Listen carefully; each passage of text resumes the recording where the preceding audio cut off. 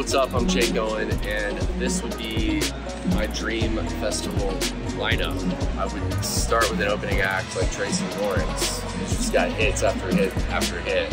After Tracy Lawrence, you gotta have Reba. She brings the heat.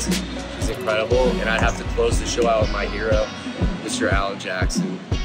I mean, end the night with some Chattahoochee. It doesn't get better than that.